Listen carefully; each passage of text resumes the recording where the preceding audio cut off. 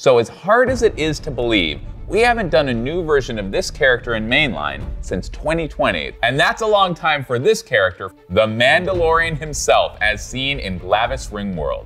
As you can see here, it's utilizing the same shoulder pads as our Stormtrooper figure, uh, which has worked out really well for posability. He also comes, as you can see here, packed with accessories, with a blaster, the dark saber, of course, uh, and his knife that can be removed from the sheath on his shin. Uh, it's also our first Mando, this is exciting, that comes with a soft goods cape. Uh, so now we can have that cape on if we spin it around at the same time as his jetpack, again, for that increased mobility and flexibility. Uh, he comes with a newly sculpted helmet, torso, arms, thigh armor, and shins. Uh, just fresh, new, amazing take on this character. It's really exciting. Available in spring of 2024.